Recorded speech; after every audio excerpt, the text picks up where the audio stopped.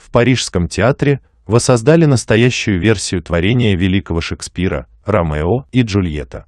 Теперь зрители могут узнать реальную историю двух гомосексуально ориентированных мужчин, влюбленных друг в друга и которых осуждает общество.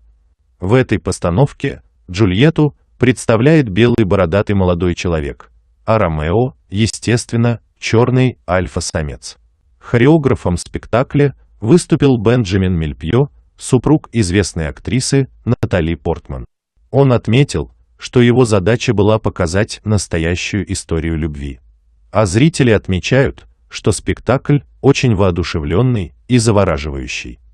Сам актер, исполнивший роль Джульетты, рассказал, что с 15 лет мечтал играть Джульетту, и для него это одна из самых главных ролей в его жизни. А также, что он выложился по полной, чтобы соответствовать образу.